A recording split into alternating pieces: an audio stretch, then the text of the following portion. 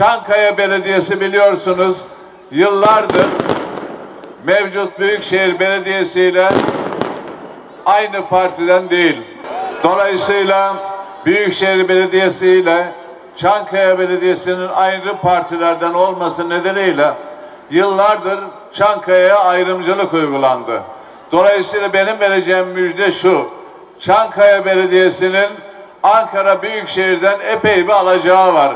İnşallah bu alacaklarını tahsil etmek üzere Çankaya Belediyesi'ne pozitif ayrımcılık yapacağız. Borçlarımızı ödeyeceğiz. Kıymetli misafirlerimiz, Millet İttifakı'nın Büyükşehir Belediye Başkan adayı Sayın Mansur Yavaş salonumuzu teşrif etmişler. Sayın Başkanım hoş geldiniz.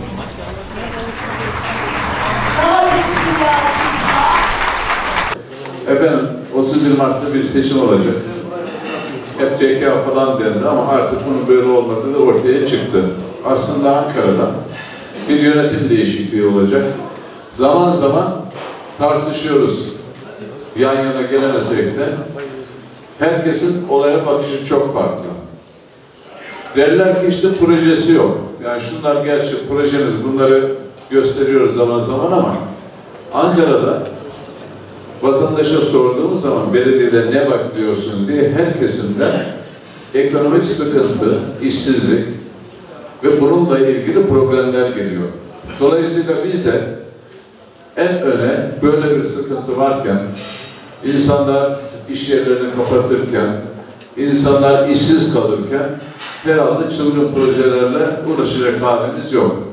Zaten bu millet çılgın projelerden de bıktı. Görüyorsunuz bugün Anka Park açıldı.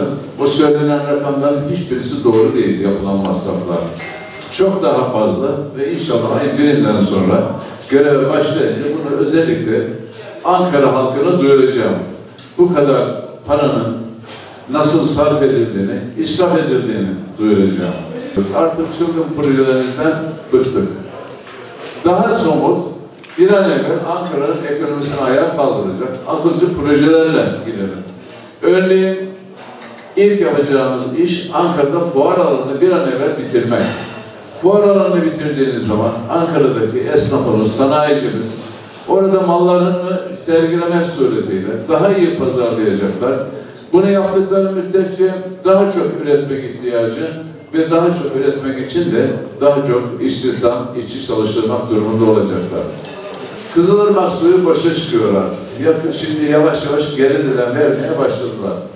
Gene musluktan hemen içemeyeceğiz ama zaman içerisinde inşallah içeriz. Kızılırmak bir güzel gelen su bir milyar dolara mal oldu. Bugüne kadar yapılan masraflarla. Ve akıtmadığınız zaman boşa gidiyor o yatırım. O bizim çocuklarımızın çocuklarının hakkıydı. 2050 yılında gelmesi gerekiyordu. Ve bu suyun akıtılması gere- gerekiyor, borular boşa gitmesin diye. İşte bu suyu Gölbaşı Bala arasında belki daha da genişletebiliriz. Bin kilometre karelik bir alanda sulu tarım yapılmakta kullanacağız. Bunun fizibilitesini de çıkarttık. Şu andaki kuru tarım yapılırken ne elde ediliyor? Sulu tarım yapıldığı zaman ne elde ediliyor?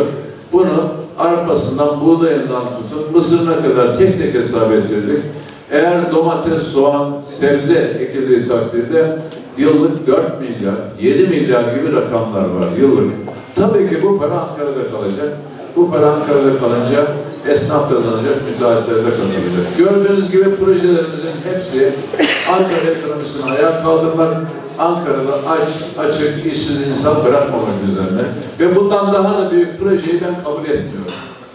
Şimdi Ankara'daki en önemli proje olarak Mogan'la Eymir arasında mavi plaj. Ben bunu neye benzetiyorum? Rakibimiz çıkıp sizden içine gelse, salon toplantılarını bıraksa. Çünkü salon toplantısını da iş adamları falan arayarak alıyorlar. Salonu da önce köpekle aratıyorlar. Böyle de bir uygulama var. Bunu yapacağına çıksa, esnafın içerisine geçse, sizleri dinlese, dese ki siz benden ne istiyorsunuz? Daha çok üretmek için ben sizin için neler yaparım dese doğru projelere ulaşacak. Ama maalesef bunu yapmıyorlar. Çünkü vatandaşın içine git, çıktığı zaman orada ekonomik nedenlerle tepkilerden korkuyorlar. Ama korkunun eceli yok, ecele faydası yok. Böyle bir gerçek var. Hiç kimse kimsenin düşmanı değil.